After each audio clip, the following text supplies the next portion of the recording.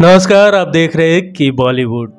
जब भी बॉलीवुड के महानायक बिग बी के फिल्मी करियर की बेहतरीन फ़िल्मों की बात करते हैं तो उसमें डॉन मूवी का नाम अवश्य लिया जाता है। इस फ़िल्म को रिलीज़ हुए लगभग 45 साल हो चुके हैं, लेकिन आज भी लोग इस फ़िल्म को बेहद ही चाव से देखते हैं। इस फ़िल्म की कहानी से लेकर किरदारों तक, हर चीज़ फैंस को बेहद पसंद आई थी। अमिताभ बच्चन, जीना तमान और प्राण अभिनीत यह फ़िल्म ब्लॉकबस्टर रही थी। आमतौर पर हम केवल इस फ़िल्म के किरदारों द्वारा पर्दे पर निभाई जाने वाली एक्टिंग को देखकर ही उसे पसंद करते हैं। हालाँकि किसी भी फ़िल्म के बनकर रिलीज़ होने तक के सफ़र में कई किस्से होते हैं, जिसके बारे में फैंस को पता ही नहीं होता है। डॉन से जुड़े भी ऐसे कई किस्से हैं जिसके बारे में फैंस को पता ही नहीं है।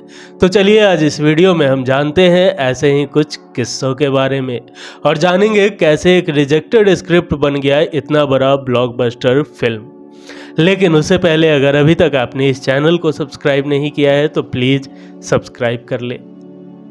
डॉन फ़िल्म का हिस्सा खई के पान बनारस वाला सुपरहिट रहा था।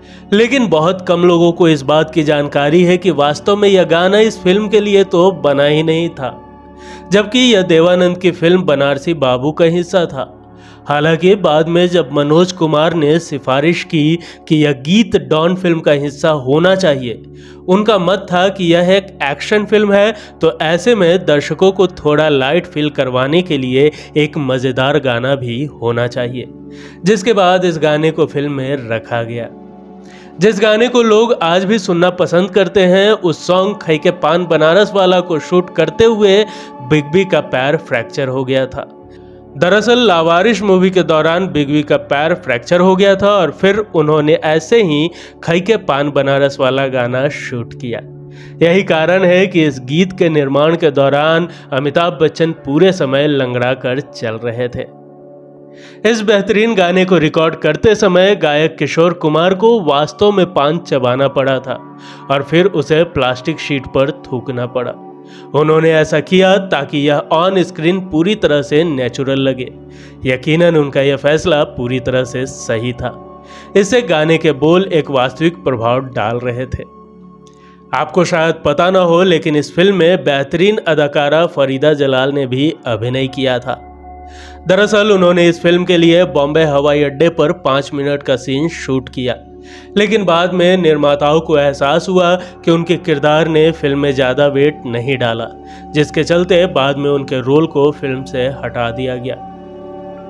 इस फ़िल्म के निर्माता नरीमन निरानी एक बेहतरीन स्क्रिप्ट ढूंढ रहे थे और ऐसे में उन्होंने लेखक सलीम जावेद से संपर्क किया था।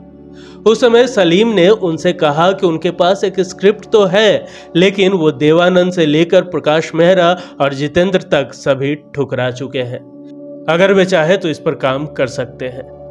जब नरीमन ने इस स्क्रिप्ट को सुना तो उन्होंने कहा कि यह फ़िल्म तो ज़रूर से ज़रूर चलेगी।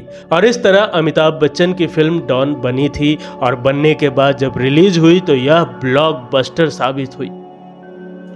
तो दोस्तों, ये थी डॉन मूवी के चंद अनसुने किस्से। डॉन फ़िल्म का कौन सा सीन आपको बेहद पसंद है, हमें कमेंट कर ज़रूर बताएँ। वीडियो पसंद आई हो तो एक लाइक ज़रूर करें। मिलेंगे अगले एपिसोड में फिर किसी दिलचस्प किस्सों के साथ। तब तक के लिए नमस्कार।